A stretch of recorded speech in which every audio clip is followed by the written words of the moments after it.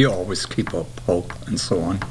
Even like, you know, you always think about, well, you know, she might come home. Hope for the impossible. Franz and Nikki Bruegger's daughter was taken away from them in 2016, just outside of Genesee County. It's been three years to the day when Allie Bruegger was shot and killed as she was jogging along Fish Lake Road. Allie's mother says she was shot multiple times in the back with a shotgun at close range. Allie was a nurse, a writer, and their only daughter. The thing I miss most is her wit, her humor.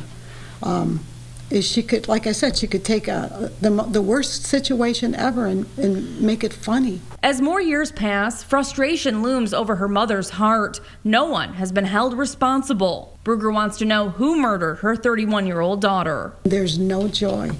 Since this happened, our life, there's no joy. Bruegger believes there are people that have information that could lead to an arrest. And today, for the third year in a row, she pleads for someone, anyone, to come forward. These are the times, these are the moments when your humanity is put to the test.